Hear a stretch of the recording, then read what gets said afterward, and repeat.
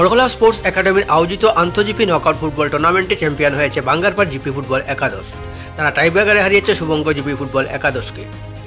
রবিবার ম্যাচ শেষে হাতিচড়া জিপির ভারপ্রাপ্ত সভানেত্রী উমাভূমিজের পৌরোহিত্য পুরস্কার বিতরণী সভায় চ্যাম্পিয়ন বাঙ্গারপাড় ফুটবল একাদশের খেলোয়াড়দের হাতে প্রথম পুরস্কার, প্রাইজ মানি পনেরো হাজার টাকা ও ট্রফি এবং রানার্স আপ দল শুভঙ্গ ফুটবল একাদশের খেলোয়াড়দের হাতে দ্বিতীয় পুরস্কার হিসেবে প্রাইজ মানি দশ হাজার টাকা ও ট্রফি তুলে দেন অতিথিরা।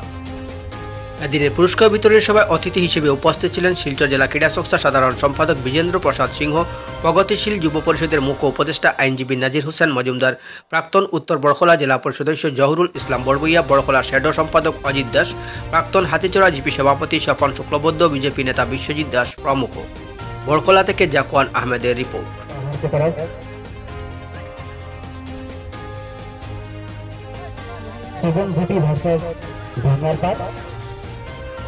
जो अभी पहले मैच खेला जा रहा है।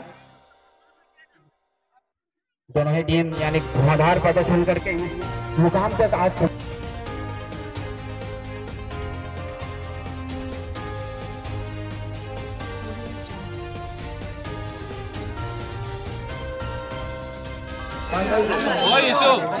ओए देख रहे दिवाले आगे भी जाओ।